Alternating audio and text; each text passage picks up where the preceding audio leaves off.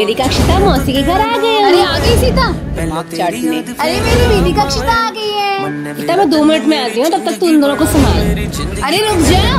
आजा कब आएगी तू? हाँ, क्यों रो रही है हाँ? अरे तुमने भी रोना स्टार्ट कर दिया। हर गर्मी की छुट्टी में आ जाएगी मौसी मौसी परेशान हो अरे आ गई तू।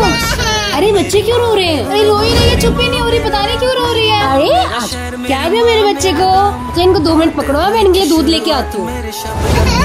मारा तुझे अरे चुपचाप से कर चुप एकदम आवाज़ नहीं आनी चाहिए। क्यों रो रही है? क्यों रो रही है? गीता तेरी हिम्मत कैसे मेरे बच्चे पे हाथ उठाने की? कितने छोटे छोटे बच्चे हैं ये। मैं तो चुप कर आ रही थी। मैंने अपनी आँखों से देखा है बच्चों को मारते हुए। कितनी गंदी मौसी हो तुम। चलो मेरी कक्षिता मौसी घर हम कभी भी नहीं आएँगे।